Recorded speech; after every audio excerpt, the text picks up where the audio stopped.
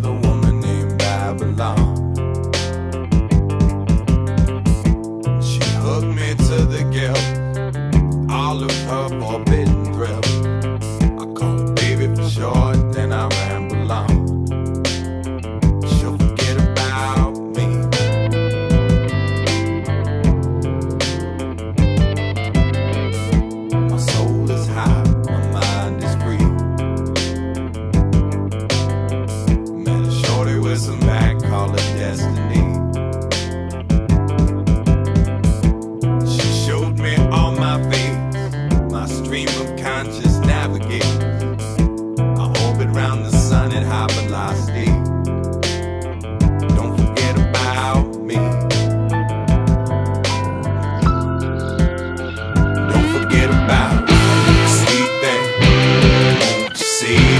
Save